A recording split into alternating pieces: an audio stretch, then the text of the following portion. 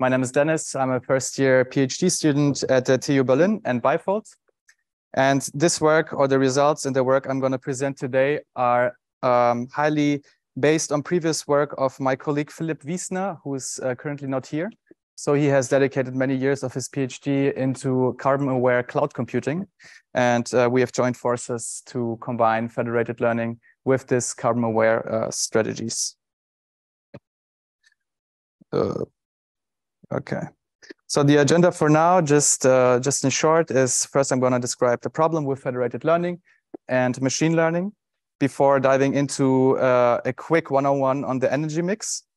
Then I'm going to propose uh, two solutions to you. First one's called low carb, and the second one, Fed Zero, that are um, built with the aim to reduce carbon emissions during training. And uh, in the end, we're going to speak about some conclusion and next steps. So first of all, what's the problem with current machine learning? Uh, as you might have heard, um, common models, common, uh, yeah, oops, state-of-the-art models use quite a lot of energy for training. And these are just the numbers that were reported. So uh, GPT-2, uh, GPT-3, for example, used 1,200 megawatt hours of energy for training. And uh, taking it into taking into consideration the average carbon intensity, this would have resulted in 611 tons of CO2 emitted. And what's the problem with that? Well, uh, if you compare it as a reference with the average household in the EU, uh, which consumes just 3.7 megawatt hours per year, uh, you will quickly uh, realize that if we had as many GPT-3s as we have inhabitants in Europe, then we would have been out of coal for a long time already. And uh, now kind of switching topics to FL. So according to some sources, one which is listed here, which is also from uh, yeah some of some of the people who are here today. The CO2 emissions for federated learning may be up to two orders of magnitude higher than for standard uh, machine learning. All right. First, I will uh, I would I will to I want to give you a small um, introduction into the energy mix. So the energy that you consume when you plug in your cell phone uh, into a plug usually consists from different sources that have generated the energy. Here you see the average over the first half of 2021 in Germany, where you have almost 30% of uh, energy being generated by natural gas and 20, 28% uh, by oil, some by hard coal, 8% by lignites, and only 16.8% by renewables. And uh, as you might as you might know, each of these sources emit a different value of uh, of carbon. And how we measure this is actually by some metric that's called the carbon intensity, which is the gram of CO2 equivalent uh, per kilowatt hours. And uh, we're going to use this metric to uh, introduce it into the federated learning process and trying to optimize this particular metric. The CO2 uh, or the carbon intensity highly depends on the location and the time. So for example, if we have here with the same uh, energy demand, two different time spots at the same location, we're going to see one time spot looking over here where the um, uh, fractions of wind and solar in the energy mix are higher than a bit later. And this results in a higher carbon intensity at later time points. And this is exactly the property that we want to use in federated learning. So uh, with this, I'm going to introduce the, our first method to you called low carb, which uh, was a method that developed out of a hackathon that we won. The hackathon was organized by the Green Software Foundation, which is a subgroup of the Linux Foundation and sponsored by many different nameable companies over here. And the aim of the Carbon Hack was to come up with the most innovative carbon software solution that uses the Green Software Foundation's Carbon Aware SDK. And the Carbon Aware SDK uh, gives us basically these carbon intensity values given a location and time for historical moments of time as well as forecasts. So our solution low carb um, has the main goal of selecting clients such that the carbon emissions are reduced while also ensuring fairness in participation. And uh, we have developed our methods or integrated our method within the Flower framework by basically in the end uh, just uh, implementing a new client manager and using, of course, the information of the Carbon Aware SDK that the client manager then uses in order to se select the clients that have currently the most clean access uh, or the most, uh, the best access to clean energy. Uh, our client selection algorithm optimizes two things.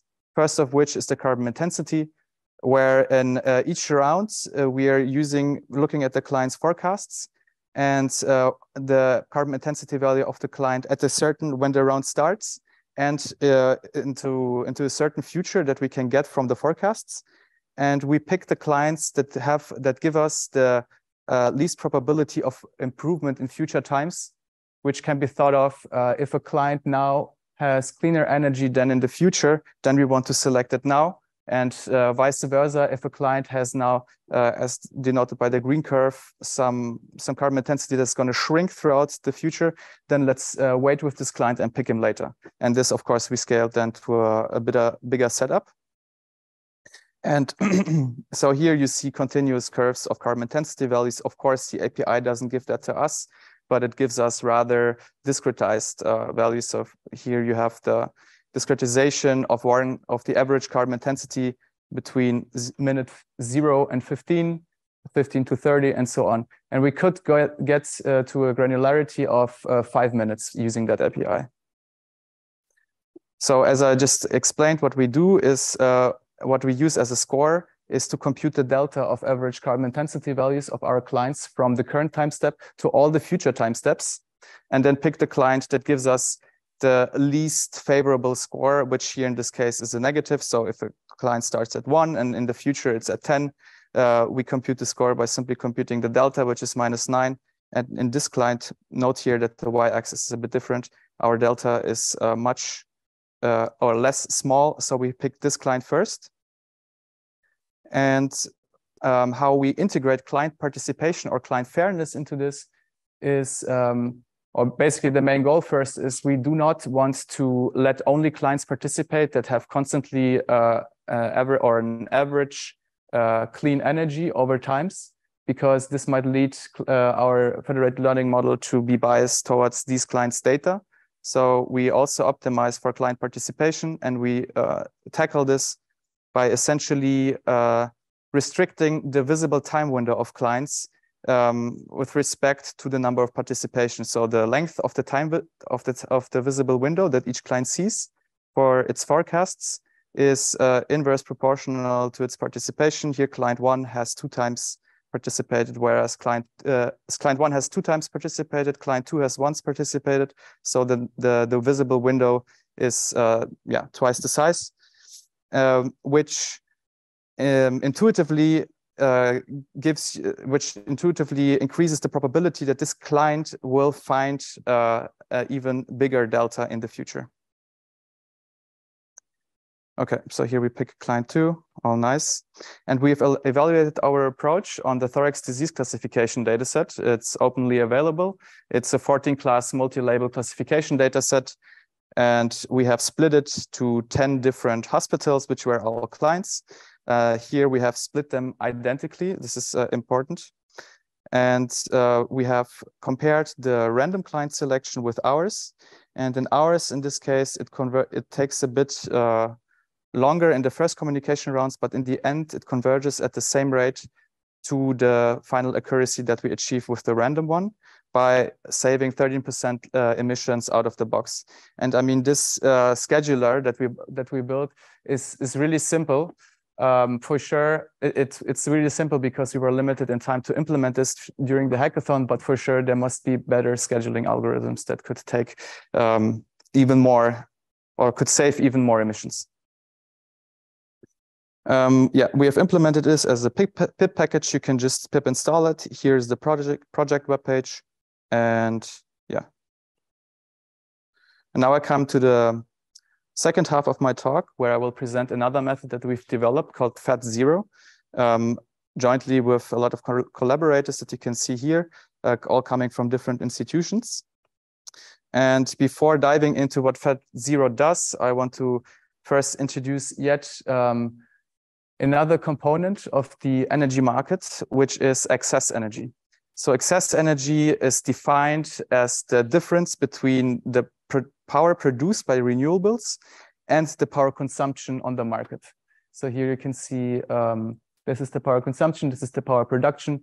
And if we uh, subtract the power consumption for the production, then we get a positive part here, which is basically the renewable energy that is in the system or could be in the system, but it's not currently used by the grid. And since the grid you or usually grids um, do not cannot handle so well big fluctuations of energy, uh, what uh, usually is done is if this happens and the excess energy is really high, then institutions curtail this energy. So they basically turn off uh, solar or wind farms to plug their energy into the into the system. And this is because it's much easier to turn off uh, uh, a solar panel than uh, yeah a nuclear generation, the nuclear generator. So what we do or want to do in Fed Zero is tackle exactly this energy, and in the end be yeah uh, be able to to train a federated learning model on zero zero carbon uh, essentially because we're just tackling this energy.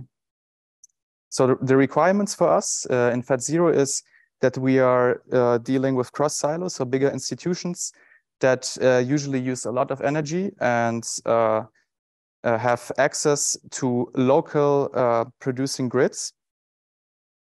Here are listed some examples like health institutions, but also autonomous vehicles, since they also um, yeah, produce a lot of data and use a lot of energy while training.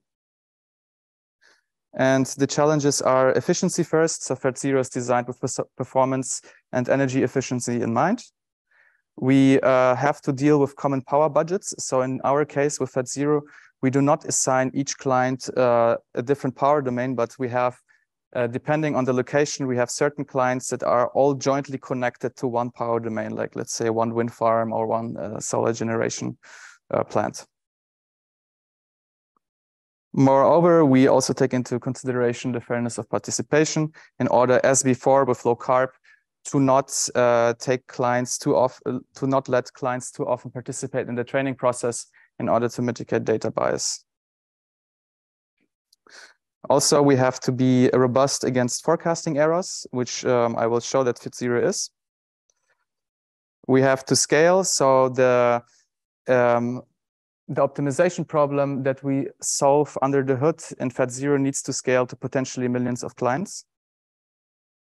And um, yeah, next I'm going to present to you the Fed Zero protocol. So what happens first is that each client who wants to participate uh, registers at the server with the following information. First, the number of training samples, the maximum computational capacity, energy efficiency, and its control plane addresses. The server then requires from the power domains that have registered each client the expected computational load as well as the expected renewable access energy.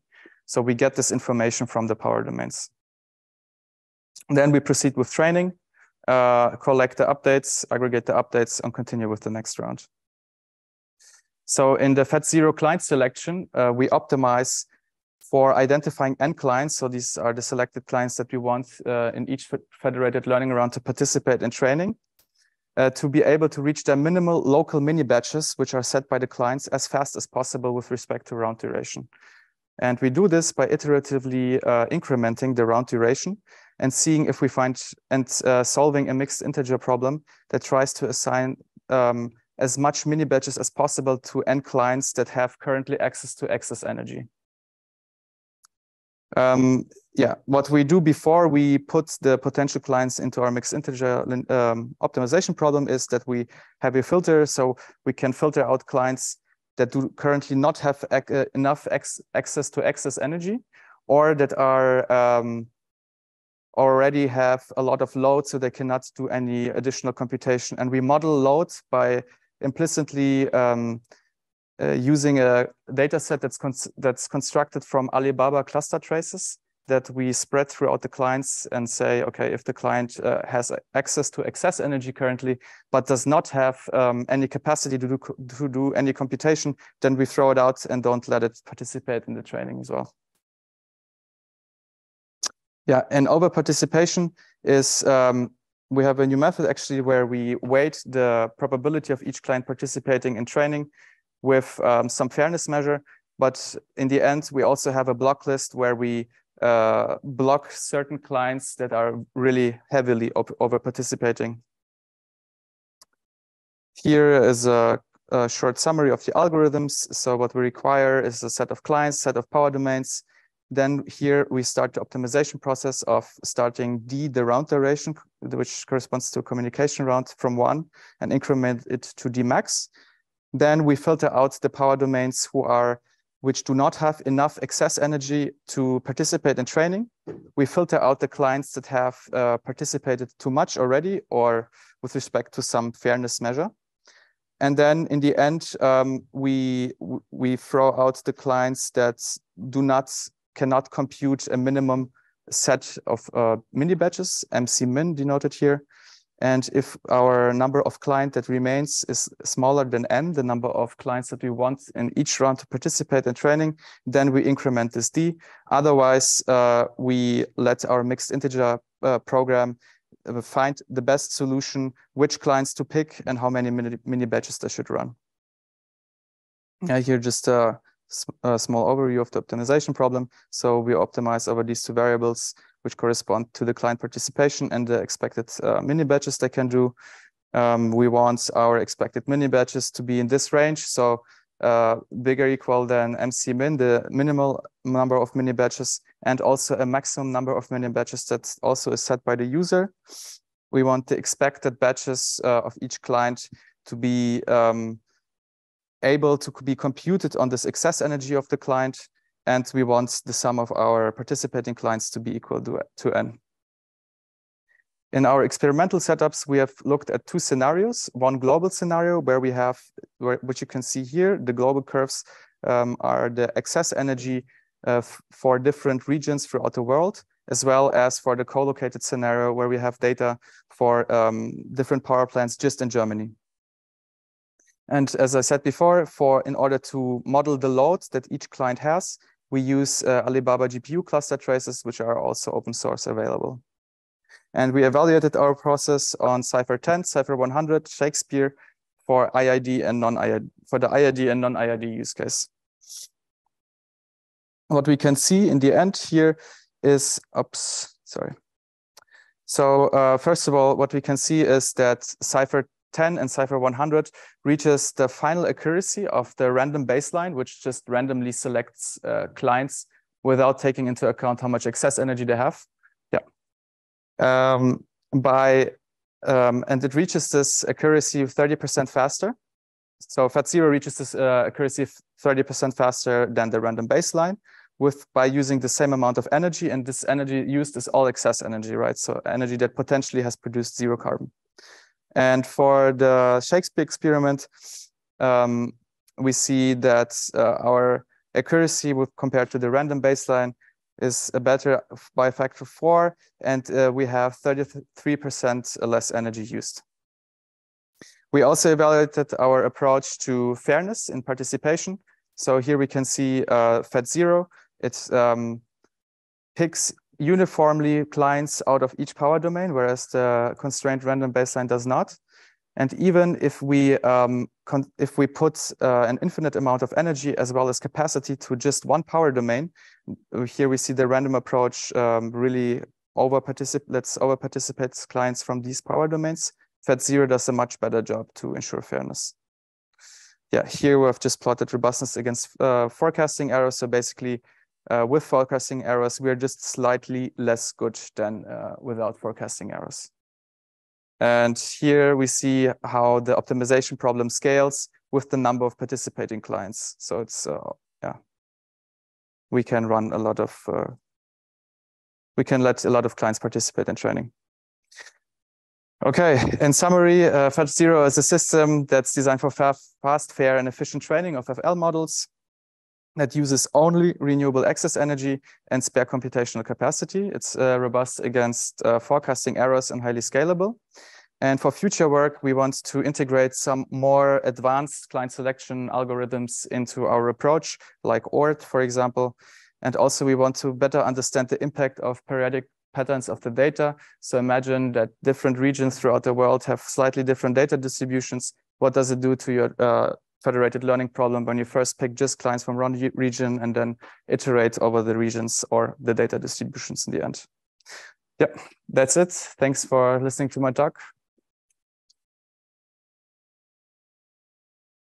Yeah, thanks very much for the great talk. What we'll do is, um, while Elijah sets up, we can take one or two questions as while he's um, converting everything over. Um, and so, um, yeah, any any questions from the audience? Feel free to. Yeah, Javier has a question. Yeah. So you went- you made use of a tool to enhance the client man- client manager to sample clients according to their uh, carbon emissions. Yes. Right. Uh, is this tool open source, or can you talk about it a bit more? Um, yes, so the API is open source, you can use it. And this was for the first project that came out of this hackathon, but uh, the forecasting data for our uh, the follow-up paper is actually not open source, but we have um, had the, the luck that they gave us free access to the forecasting data. Okay. Thank you. Yeah.